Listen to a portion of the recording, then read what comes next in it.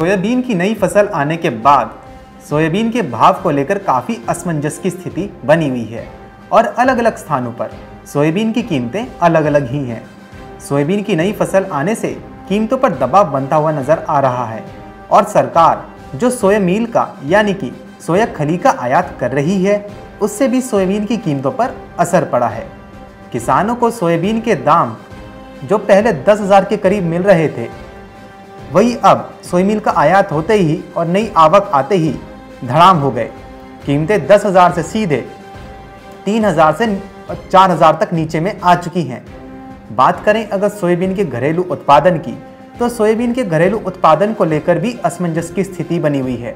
कोई इसका उत्पादन ज़्यादा तो कोई कम बता रहा है। अब ये तो वक्त ही बताएगा कि सोयाबीन का उत्पादन कितना है। वहीं जानकारों के अनुसार पिछले साल सोयाबीन का उत्पादन 8.9 मिलियन टन देखने को मिला था और इस बार 10 मिलियन टन के आसपास का उत्पादन का अनुमान लगाया गया है। वहीं ग्लोबल सोयाबीन प्रोडक्शन बढ़ने का अनुमान है। अनुमान है कि सोयाबीन सहित पाम, सनफ्लावर उत्पादन में बढ़ोतरी हो सकती है। इधर ग्लोबल सोयाबीन उत्पादन बढ़कर 740 लाख टन पहुँच सकता है, जिसके चलते इसमें गिरावट आ सकती है। सोयाबीन की कीमतों में गिरावट की आशंका बनी हुई है। किसान सबसे ज़्यादा इस बात से नाराज़ हैं कि जब उनकी फ़सल की बिकने की बारी आती है, तभी हमेशा क्यों दाम कम हो जाते हैं?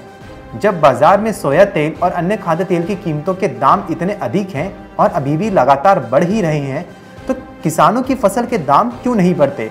उन्हें क्यों गिरावट का हवाला देकर कम पैसों में अपनी फ़सल बेचने पर मजबूर किया जाता है?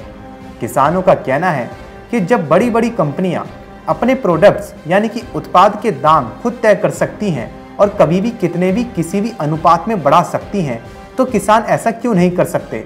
जबकि वो तो पूरे देश के लिए फ़सल उगाते हैं।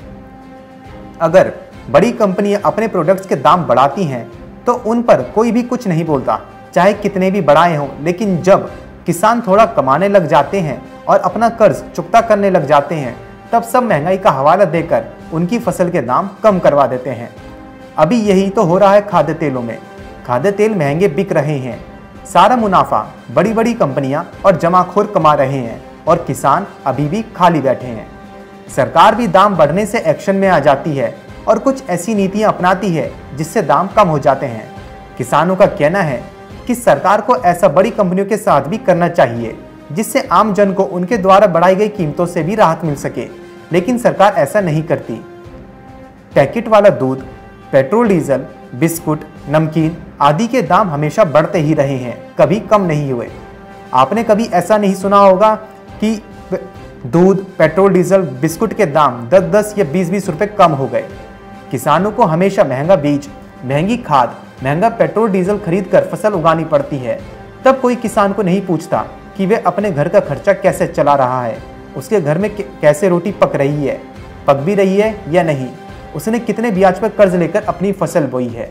लेकिन जब कीमतें थोड़ी बढ़ती हैं, सब अचानक से सक्रिय हो जाते हैं और महँगाई का शोर मचने लगता है। अगर वायदा बाजारों में इतनी सट्टेबाजी ना हो तो कीमतें इतनी नहीं बढ़ेंगी। कीमतों पर काबू रहेगा, क्योंकि सट्टेबाज अपना मुनाफा लेकर निकल जाते हैं और जब किसानों की बारी आती है, तब दाम हमेशा कैसे न कैसे करके कम किए जाते हैं।